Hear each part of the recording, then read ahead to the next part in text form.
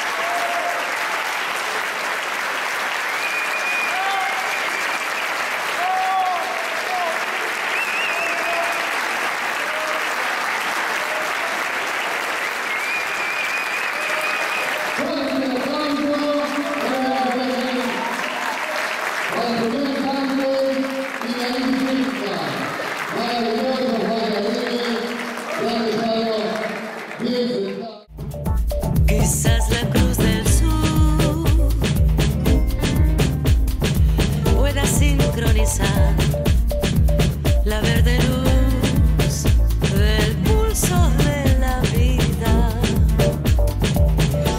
La cruz de